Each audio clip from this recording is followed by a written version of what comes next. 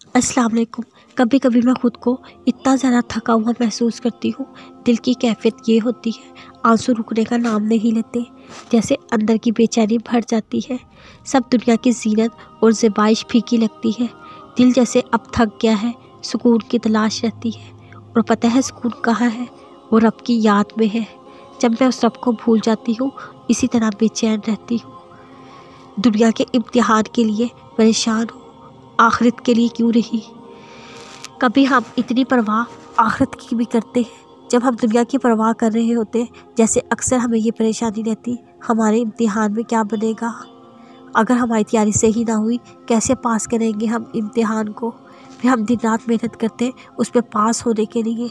लेकिन क्या कभी सोचा, आखिरत की तैयारी जिसकी हमें करनी है, वो हम करते ही नहीं।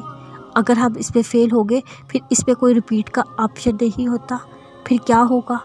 दुनिया के इम्तिहान से इतना डर लगता है, जबकि असल इम्तिहान की तैयारी हम करते ही नहीं।